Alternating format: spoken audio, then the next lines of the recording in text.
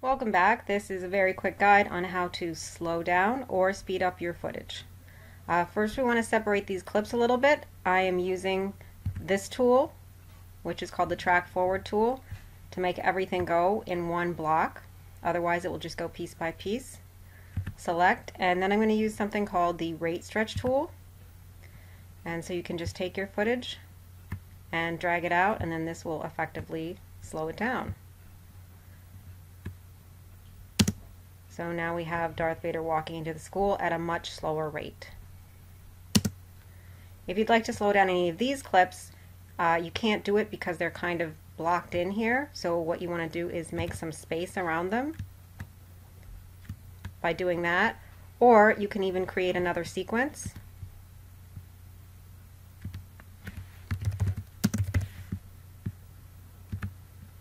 Over here, copy everything from this sequence over to this sequence. Um, do whatever editing you need to do, um, and then copy, uh, cut and paste, and put it back in. So let's try one more slowdown. We have our rate stretch tool. I'm going to take this piece, drag it out a little bit, and slow it down. Conversely, you can also go the other way, and that will speed it up.